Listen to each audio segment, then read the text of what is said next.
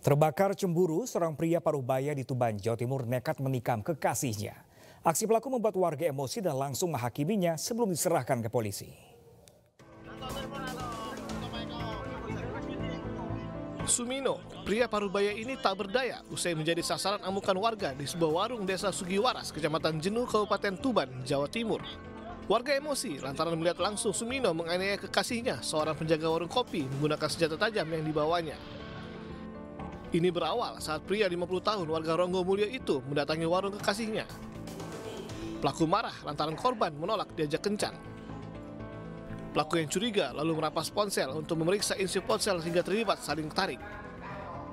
Pelaku yang emosi lalu mengeluarkan senjata tajam dan menganiaya korban. Dari tangan pelaku disita barang bukti berupa satu sepeda ontel, obeng, dan gunting serta jaket yang digunakan saat kejadian.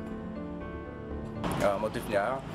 Jadi uh, untuk keterangan menurut keterangan dari uh, tersangka, dia itu memang ada hubungan asmara dengan yang bersangkutan atau korban, sehingga mungkin akan melihat HP-nya itu ada WA dari mana, dari orang lain ataupun punya pacar lain. Ini ini yang kemarin menurut informasi sementara pemeriksaan dari tersangka itu. Cemburu berarti dari? Kemungkinan ada uh, kecemburuan karena indikasinya mau uh, diajak tidur tidak mau seperti itu keterangan dari tersangka.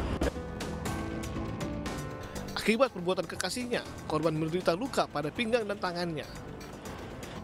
Sementara pelaku kini mendekam di sel tahanan Polsek Jenuh, Tuban. Ia dijerat pasal penganiayaan dengan ancaman hukuman 2 tahun penjara.